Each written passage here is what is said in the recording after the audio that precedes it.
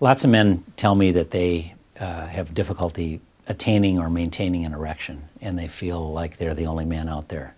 And what I say to them is absolutely the truth that all men have difficulty with erection some of the time. It's not something that men talk about. But I don't think there's a male out there who doesn't, from time to time, have a problem getting an erection or maintaining an erection.